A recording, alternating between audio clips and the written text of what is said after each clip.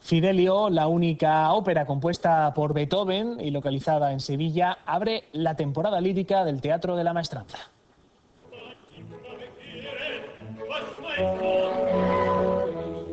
Un canto a la libertad desde una cárcel de Sevilla interpretado por la soprano Elena Pankratova que asume el papel masculino de Fidelio. Esta ópera vuelve al Maestranza después de 11 años los días 24, 27 y 30 de este mes.